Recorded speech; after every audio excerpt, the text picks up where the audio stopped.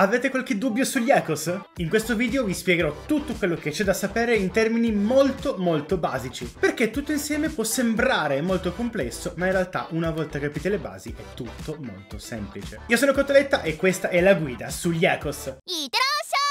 Ma cosa sono gli Echos? Gli Echos sono il gear di Wuthering Waves, come praticamente gli artefatti su Genshin Impact o le relics su Honkai Star Rail. Funzionano in modo molto simile ma con un meccanismo di base diverso. Sconfiggendo i mostri si ha una possibilità di droppare la loro anima, appunto l'eco. Questa possibilità di droppare l'anima del mostro scala in base al livello del nostro databank più il databank sarà alto, più avrete possibilità di drop. Inoltre, sempre riguardante il databank, più alto sarà il livello del databank, più possibilità avrete di droppare ecos di rarità più alta. Il livello del databank si andrà ad aumentare con la cattura di creature diverse presenti per tutto il gioco. Quindi per iniziare le Pokémon References questo è il vostro Pokédex. La rarità degli ecos avrete capito che è molto molto importante perché più alta è questa rarità più substat questo potrà avere. Partiamo dal più basso che ha 0 substat fino a quello oro che è il più alto con 5 substat.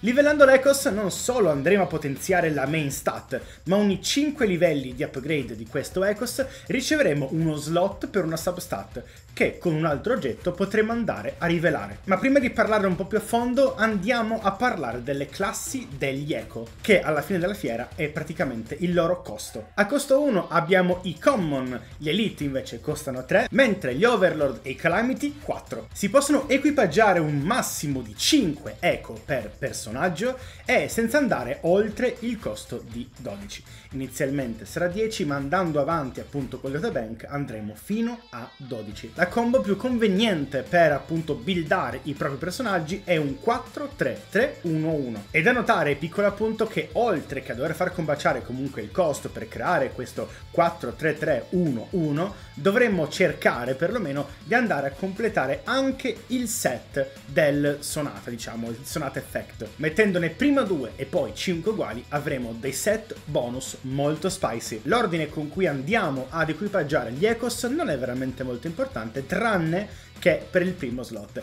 Il primo slot è praticamente lo slot di equipaggiamento, ovvero quell'ecos che noi andremo a utilizzare in battaglia. Avete presente che con la Q possiamo usare una skill dell'ecos? Ecco, il primo slot sarà quella skill. Parliamo ora delle main stat degli Echos, perché come hanno delle substat, hanno ovviamente due main stat, si può dire. La main stat principale varia a seconda del loro costo, quindi partiamo dai common, che possono avere HP percentuale, attacco percentuale e difesa percentuale, mentre per l'elite abbiamo sempre HP percentuale, attacco percentuale, difesa percentuale e in aggiunta energy regen percentuale e elemental damage boost. Chiaramente elemental damage boost deve combaciare al tipo di danno che fa il nostro DPS, diciamo il nostro personaggio che andremo a equipaggiare. Non è un elemental boost generico ma è elementale. Per esempio non andremo a mettere un molten damage boost che sarebbe il pyro praticamente sul nostro G1,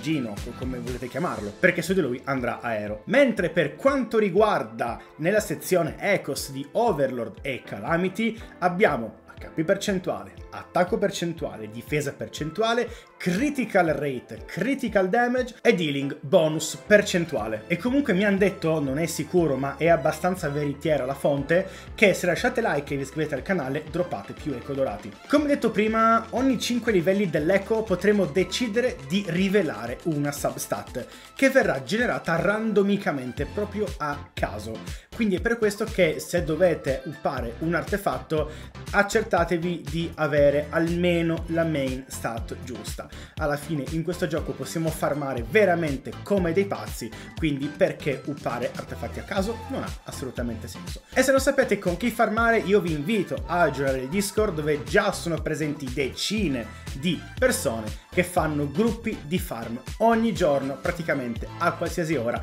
prevalentemente pomeriggio sera. Mattina non c'è quasi mai nessuno, ma lasciamo stare. Mi raccomando, joinate, link in descrizione. Ma quindi, quali substat può avere un artefatto? Ricordando comunque che le main stat possono comunque uscire anche come substat. Quindi se per esempio abbiamo un Calamity con critical damage in main, può tranquillamente uscirci nelle substat critical damage, anche se appunto è in main stat. Quindi considerando che le substat non sono peculiari di nessuna classe, ovvero che qualsiasi classe di eco può uscire qualsiasi tipo di substat, avremo a che fare con HP flat, attacco flat, difesa flat, HP percentuale, attacco percentuale, difesa percentuale, critical percentuale, critical damage percentuale, basic attack damage bonus percentuale, heavy attack damage bonus percentuale, resonance skill damage bonus percentuale e resonance liberation damage bonus percentuale. Ma come facciamo a vedere queste substat che sono effettivamente loccate